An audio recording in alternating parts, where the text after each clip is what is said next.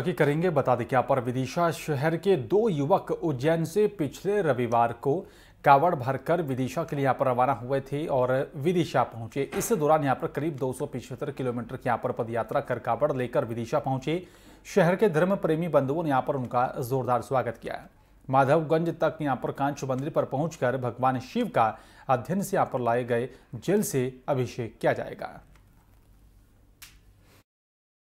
हमारे दो भाई, विवेक रघुवंशी जी और शर्मा जी, उज्जैन से कांवड़ लेकर विदिशा आए हैं, जो कि बड़ा हर्ष का विषय है। एक नई पीढ़ी के लिए एक प्रोत्साहन की बात है कि भाई, एक नई उम्र में बच्चे कांवड़ लेके आए और उनका स्टेशन माधवगंज स्थित शिवालय पे महाभिषेक किया जाएगा शिव जी का, जिसमें हमारे युवा साथियों द्वारा उनका स्वागत किया गया है।